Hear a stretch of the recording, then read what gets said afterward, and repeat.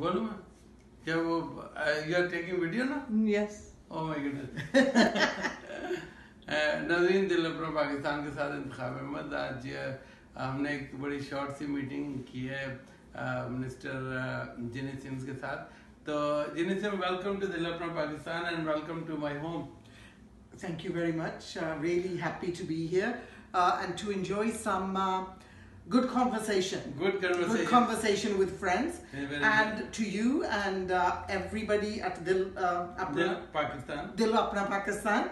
Uh, Sari anu uh, Shubkamana and uh, enjoy the day. Enjoy the day and also uh, Tusilni.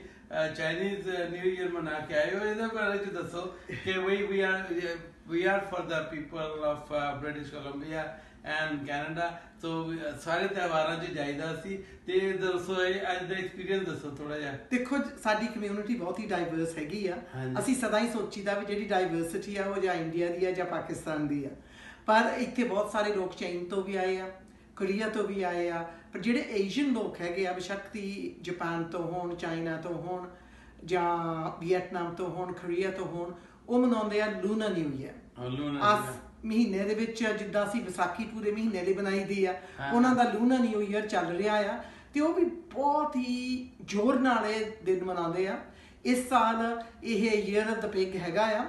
ਤੇ ਸੋ ਸਾਰਿਆਂ ਨੂੰ ਜਿੱਥੇ ਵੀ ਦੇਖਦੇ ਆ ਆਪਾਂ ਹੈਪੀ ਈਦ ਵੀ ਕਹੀਦੀ ਆ ਹੈਪੀ ਵਿਸਾਖੀ ਵੀ ਕਹੀਦੀ ਆ ਅੱਜ ਅਸੀਂ ਹੈਪੀ ਲੂਨਾ ਨਿਊ ਈਅਰ ਵੀ ਕਹਿ ਦਿੰਦੇ ਆ happy lunar year to our Chinese community and also ਮੈਂ ਇਹ ਵੀ ਕਹਿਣ ਲੱਗਾ ਕਿ ਅਗਲੇ ਮਹੀਨੇ ਮਾਰਚ 'ਚ ਨਵਰੋਜ਼ ਹੋ ਰਿਹਾ ਹੈ। ਨਵਰੋਜ਼ ਇੱਕ ਪਰਸ਼ੀਅਨ ਸਪੀਕਿੰਗ ਕੰਟਰੀਜ਼ ਜਿਹੜੇ ਆ ਨਾ ਉਹ ਉੱਥੇ ਮਨਾਇਆ ਜਾਂਦਾ ਲਾਈਕ ਈਰਾਨ ਅਫਗਾਨਿਸਤਾਨ ਹਾਂਜੀ ਉਹ ਉਹਨਾਂ ਦਾ ਸਪ੍ਰਿੰਗ ਫੈਸਟੀਵਲ ਹੁੰਦਾ ਹੈ।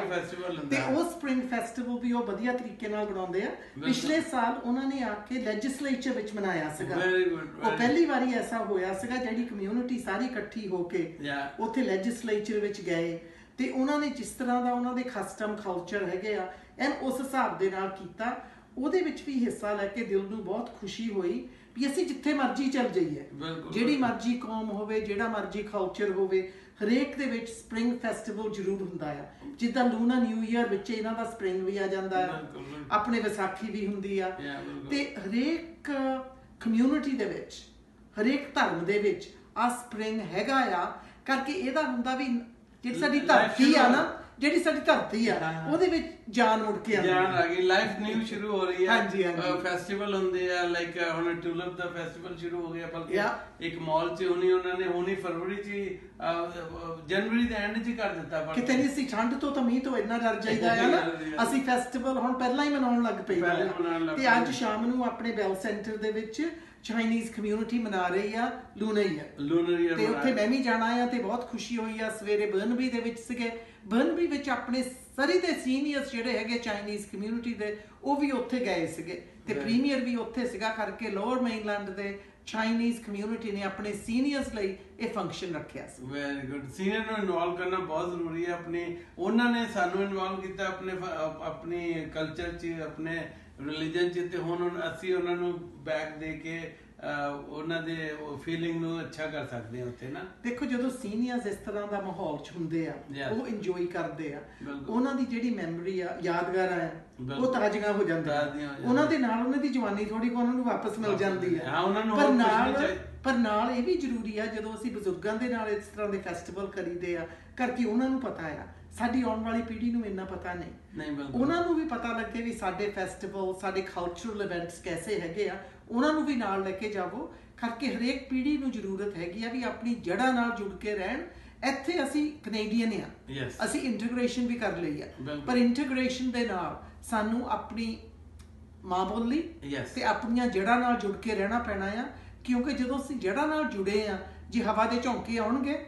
ਅਸੀਂ ਇੱਕ ਪੇੜ ਵਾਂਗੂ ਹੋਵਾਂਗੇ। ਫਿਰ ਅਸੀਂ ਇੱਕਦਮ ਖੜੇ ਹੋ ਜਾਵਾਂਗੇ। ਪਰ ਜੇ ਸਾਡੇ ਕੋਲ ਜੜਾ ਹੀ ਹੈ ਨਹੀਂ ਜਿਸ ਤਰ੍ਹਾਂ ਪੇੜ ਗਿਰ ਪੈਂਦਾ ਆ ਉਸੇ ਤਰ੍ਹਾਂ ਇਨਸਾਨ ਵੀ ਗਿਰ ਜਾਂਦਾ ਹੈ। ਜਾਂਦਾ ਹੈ ਬਿਲਕੁਲ। ਬਹੁਤ ਬਹੁਤ ਅੱਛਾ ਕਿ ਕਲਚਰ ਲੋਕੀ ਆਪਣੇ ਮਨਾ ਰਹੇ ਆ। ਤੇ ਇਹਦੇ ਨਾਲ ਇੱਕ ਲਾਈਫ ਵੀ ਨਜ਼ਰ ਆਉਂਦੀ ਹੈ ਕਿ ਭਈ ਲੋਕ ਜੁਬਲੈਂਟ ਆ ਲੋਕ ਬਹੁਤ ਕੁਝ ਹੁੰਦੇ ਆ ਕਰਕੇ। ਦੇਖੋ ਕਿਹੜਾ ਨਹੀਂ ਲਾਈਕ ਕਰਦਾ ਵੀ ਕੋਈ ਕਲਚਰਲ ਫੈਸਟੀਵਲ ਹੋਵੇ। ਉਹਦੇ ਵਿੱਚ ਆਪਣੇ ਆਪ ਹੀ ਖੁਸ਼ੀ ਬਾਹਰ ਉਗਲ ਆਉਂਦੀ ਹੈ। ਬਿਲਕੁਲ ਨਜ਼ਰੀ ਨੇ ਇੱਕ ਛੋਟਾ ਜਿਹਾ ਵਕਫਾ ਲੈਤੇ ਹੈ ਦੇਖਤੇ ਰਹੀਏ ਵੈਨਕੂਵਰ ਕੀ ਜਾਨ ਦਿਲ ਆਪਣਾ ਪਾਕਿਸਤਾਨ। अच्छा बंद नहीं करना